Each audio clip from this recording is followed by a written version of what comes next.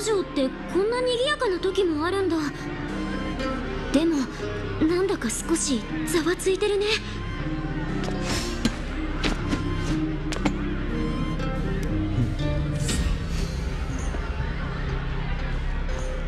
希望がない。一体どうすれば死のこともできないのか。大守護者様の決定に従う。我らをお守りください。もう希望がない。一体どうする？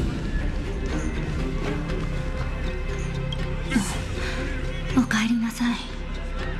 結果はどうだった？みんなの意見は？上層部と下層部を回ってたくさんの人に意見を聞いたんだけど結果は引き分けだった。なるほど。それぞれ問題を見る立場が違うからこの結果になるのも当然かもしれない。ゼーレはゼーレには聞いてくれた？なんて言ってたの？護者様の決定に従う少しは冷静にならんか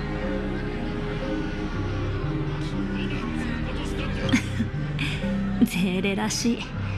どんな風にあなたたちと話したのかも想像できる。ブローニャの方は話し合いはまとまったの？オフィスの中が騒がしくて何も聞き取れなかった。こっちも似たような感じ。双方が自分たちの言い分を主張して意見がまとまらないの。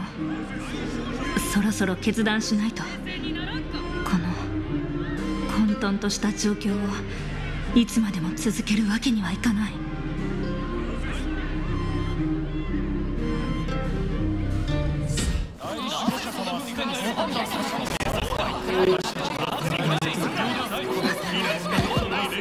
ういい。そこまで？どうすべきか分かった。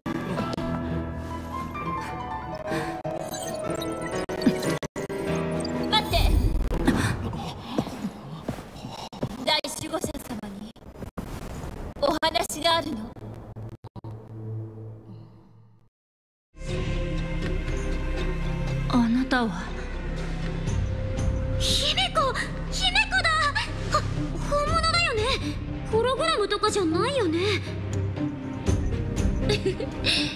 安心して美月ちゃん。正真正銘本物の姫子よ。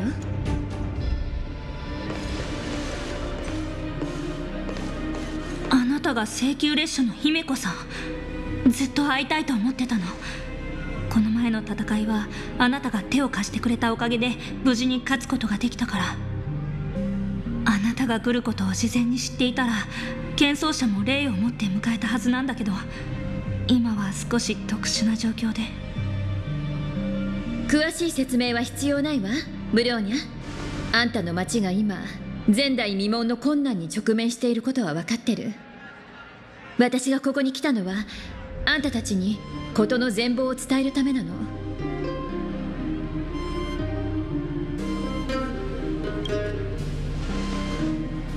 解決策は少し大げさかもしれないわね。あくまで追加の情報を提供するだけだから。この情報があればあんたは大守護者としてより賢明な判断を下すことができると信じてるわ。情報。分かった。あなたが知っていることを教えて。姫子さん。私の友人にたまたまトパーズさんの身の上を知っている人がいてね。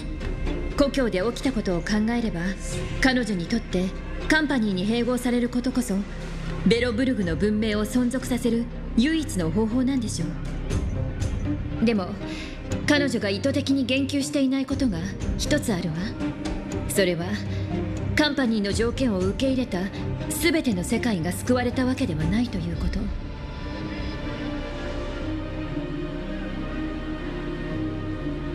それって？星の生態系を再建する。これほど大きなプロジェクトには必ずリスクが伴う。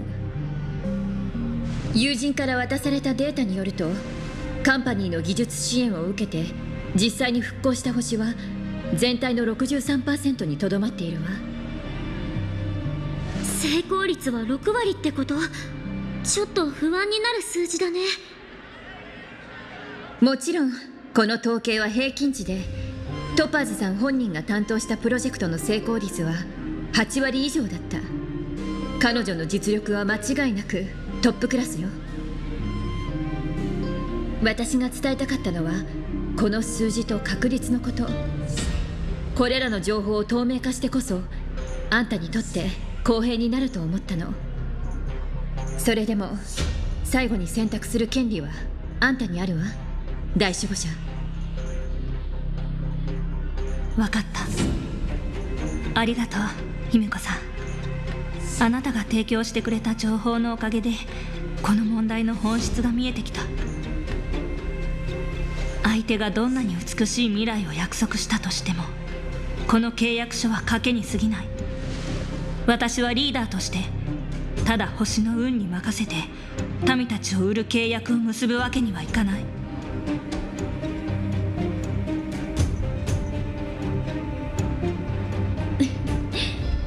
決心がついたなら私も中立を装う必要はないわね。あんたの選択は正しいと思うわブローニャ。請求列車のみんな私に考えがあるの。でもそれを実現させるにはあなたたちの協力が必要になる。時間をかけて町内の市民を動員してトパーズさんにももう一度会っておかないと。お願い。トパーズさんが今どこで何をしていたとしてもどうか彼女を見つけ出して。そしてもしカンパニーがベロブルグの資産を無理やり奪おうとしているならそれを全力で阻止してほしい。安心して。絶対にトパーズさんを見つけてみせるから。相手は銀河で最も手強いと言える勢力だし今回は私もこの子たちと一緒に行動するわ。ベロブルグは自分の未来を売り渡したりしない。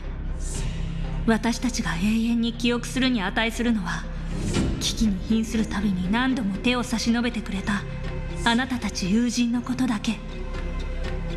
みんなどうか気をつけて。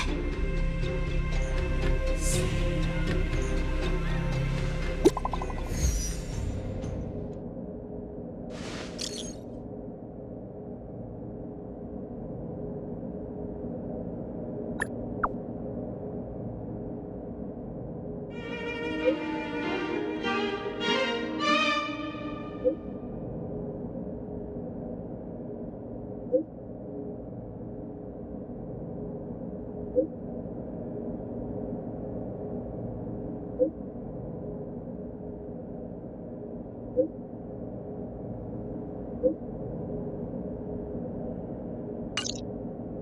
ベットタウン。ジェパードはあそこでうちらを待ってるんだよね。またいつもの場所で冒険か。よし行こう。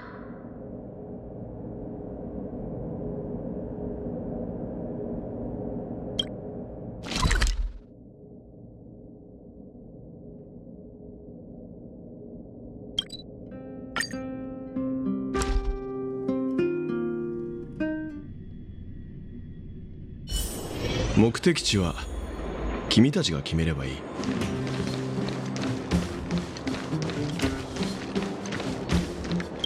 大守護者様から大体の事情は聞いている。僕も君たち列車組に協力してトパーズを探そう。準備ができたら声をかけてくれ。一緒にリベットタウンに入るぞ。カンパニーの人間が妨害してくるかもしれない。警戒は怠らないようにな。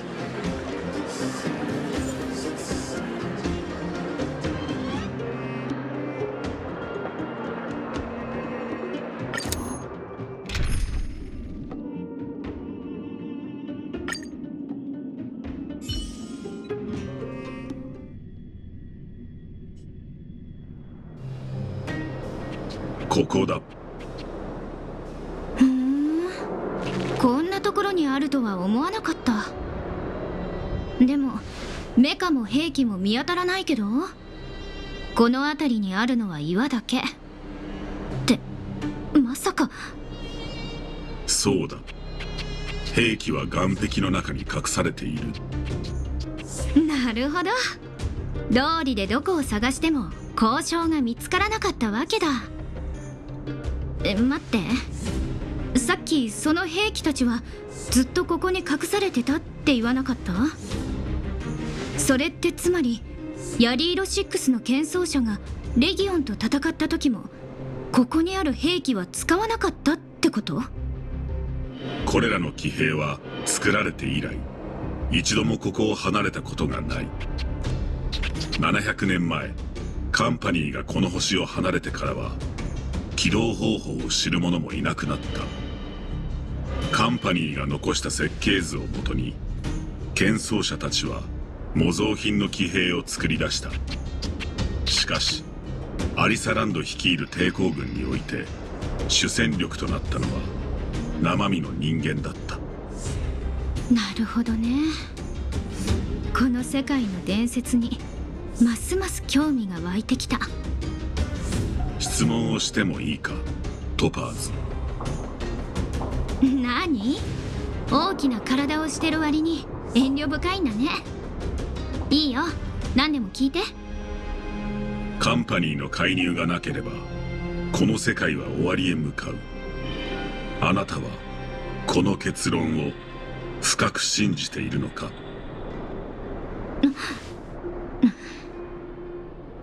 信じてるここに来る前私は数えきれないほどの事例を調べた。そして正確に侵された世界は最終的に滅亡の運命からは逃れられないっていう結論に達したの。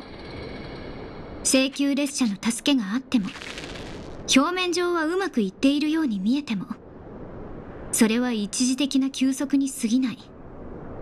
長期にわたる危機は往々にして繁栄の影に潜んでおり一般人には気づかれないものである。理解した。理解した？それで終わり？自分の見解を述べたいとは思わないの？感情指導が教えてくれた。あなたは誠実かつ正確に自分の考えを述べたと私が確認したいのはこれだけだ。この星の未来について私はあなたと異なる意見を持っている。だが私の意見は重要ではない。なぜなら私は道具であり意思決定者ではないからだ。面白い。私の同僚たちも君のように自分を理解していたらよかったのに。行こうカブ。下に行ってちゃんと評価しないと。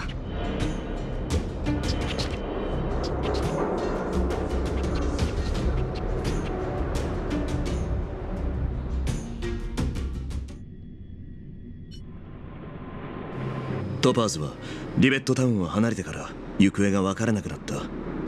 その後彼女の部下が押し寄せてきてここを占領している。カンパニーの兵士たちの装備は優れているから彼らと正面からぶつかるのは得策じゃないわ。ジュエカンさん何か策はある？姫子さんの言う通りだ。だからなるべくこちらの動きを悟られないようにするため戦爆騎兵を使おうと思う。戦爆騎兵？詳しいことは後で説明する。とりあえず前に進もう。